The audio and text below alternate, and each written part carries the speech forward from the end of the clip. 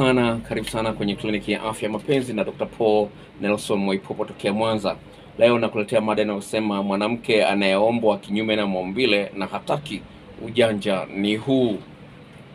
Mada hii imetokana na dada ambaye nimekuwa nawasiliana naye mara kwa mara, lakini tarehe moja ya mwezi wa sita, leo ni tarehe saba, kalenda yangu inaniambia leo ni tarehe saba. Mm, Kwa hiyo uh, Eh, siku sita zilizopita nilimtumia video clips na majarida jinsi ya kumnogesha mwanaume, akanishukuru kwa message hii inayofuata hapa, akasema hivi uh, no, message yake ya kwanza ilikuwa nisema hivi: Dr. shikamo, pole na majukumu. Jamani dokta, nisaidie, geti limelegea, nakosa raha, sitaki kuachwa, nisaidie please. Nimekusikiliza na kukuelewa. Anasema kwamba uke wake ni mpana, uke wake umelegea, ndo anasema geti limelegea. Nilimtumia video zikamsaidia, akanipa mrejesho huu. Dokta, nashukuru sana kwa kuwa umekuwa mkombozi wa mahusiano yangu, lakini nimepata janga ambalo nalo ni tatizo jingine, kwani baada ya kumfanyia yale yote maeneo kumi na nne ya kumchezea mwanaume aliye uchi hadi awe mpole kama bata, dokta alipata raha ya kiwango cha juu, lakini kilichofuata ni kuniomba kinyume na maumbile. Nimekataa kabisa, lakini mpaka sasa bado hachoki kunibembeleza. Dokta, nisaidie, nifanyeje? Kwa kweli hilo kwangu hapana. Nikamwambia hivi, mwenyewe umesema geti limelegea, mwenzio anapoya. Kwa hiyo anaona pamoja na ufundi wake wote ule, anaona kwamba akiingia kwenye sehemu ile ya haja kubwa atapata msuguano mwingi kuliko kwenye uke ambao umelegea umetepeta. Akasema, dokta, kwa kweli naona mi siwezi kumpatia hicho kitu anachokitaka, japokuwa geti lime- limelegea, lakini sina hela sasa hivi ya kulipa hizo shilingi elfu sabini nipate hiyo dawa ya kubana uke ambayo umesema imemsaidia dada yule wa Dodoma. Dokta, naomba msaidie, maana yake sasa hivi amekuwa mkali, amekuwa mkali sana kuhusiana na hilo jambo. Ananiambia nipe nifanye mara moja tu, nimemgomea. Juzi kaja na mafuta ya kulainisha, ananiambia hii italainisha, hautaumia. Mm, nimemshangaa kweli kweli. Hivi watu wazima kama yeye anaweza kuwa na mambo ya ajabu kama hayo ya kutaka kinyume na maumbile? Dokta, hakika hilo linaninyima raha sana. So, unaweza kuona. Kwa hiyo unaweza kuona hali kama hii eh, anaendelea kusema hapa, sema nimejaribu kumwambia madhara yake hata magonjwa, lakini anielewi dokta. Nimekalisha message hizo, siku message ni mrefu kidogo, lakini cha msingi ni kwamba kuna madhara ambayo yanaweza kumkuta mtu ambaye anatembea kinyume na maumbile. Ni kweli ukipata njia sahihi kuna utamu wake, lakini kuna madhara ambayo yanaweza yakawa chronic, yani yakawa ya kudumu.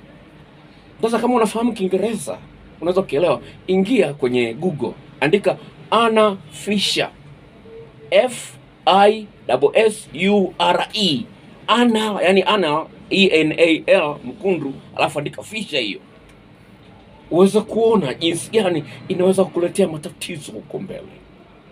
Sasa hii katika tafiti ya mada hii nimekuta mashoga wanakutana nayo na wanawake ambao wako ndani ya ndoa wanaokwenda mtindo wanakutana na tatizo hilo la anofisha anafisha wanakutana nayo.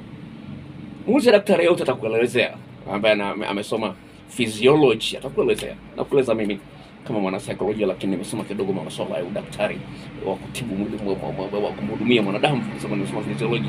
Kwa hiyo napenda kupata habari ni kwamba katika hii nimekutana na mwanamke ambaye anasema kwamba nimechoka, kila siku mwanaume ananiambia tujaribishe kidogo, kila siku tujaribishe kinyume na maumbile, kila siku tujaribishe maumbile. Sasa nimechoka kuambiwa nijaribishe hichi kitu.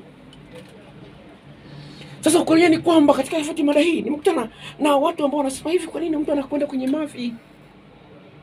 Sasa huyu mwanaume hata ukimpa akienda akitoa mboga yake akakuta ina mavi, atakulaumu wewe na anasema inawezekana kabisa, na katika tafiti nimeonekana kama wako wanaume ambao wamemwingilia mwanaume kinyume na mwambie, alafu akatoa ambao toka na mavi.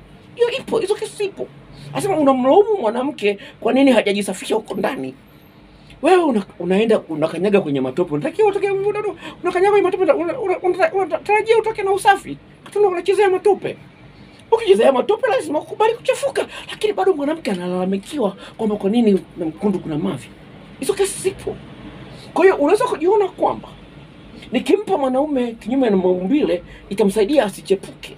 Si kweli. Dada mmoja katika kufuatia mada hii akasema hivi, naweza nikampa kinyume na maumbile nikakuta kwamba anapendelea sana kuniingilia kinyume na maumbile kuliko kuliko kuniingilia katika hali yangu ile ya kawaida. Nasema naweza nikakuta kwamba anapendelea hali hiyo zaidi kuliko kuingilia ile kwenye uke wangu, alafu mimi sipendi kuingilia huko mara kwa mara. Nikimjaribisha aka- akapendelea huko zaidi, itakuwaje? Alafu ndio nikaanza nikamnyima. Kwa hiyo hilo ni jambo la msingi. Samahani, kuna mtu ananipigia hapa. Kwa hiyo jambo la msingi ufahamu kwamba kuna hatari. Sasa ujanja ni upi? Ujanja ni huu, mwambie hivi, kama unaona kuingiliwa kinyume na maumbile kuna utamu, basi ni kuingizie wewe kwanza ndizi au karoti. Si unaona kama ukiingilia kinyume na umbile kuna utamu? Nataka nikuingizie wewe uone ndio utafika katika tafiti madai wanawake ambao wa- wa- wamekuwa wanasumbuliwa katika hilo wametumia ujanja huo na wamefanikiwa. Mwingine akamwingizia ilipofika tu nchi tatu tu, akamwingizia mwanaume karoti. Ilipofika nchi tatu, au kuna ume wa bandia ndawa, anamwingizia ume wa bandia. Ilipofika tu hivi akasema, "Mm, acha, inauma inauma. Kwa hiyo hata kama utatumia sijui mafuta vilainishi na nini, lakini kuna eh, side effect zake, kuna madhara yake, unayataka hayo.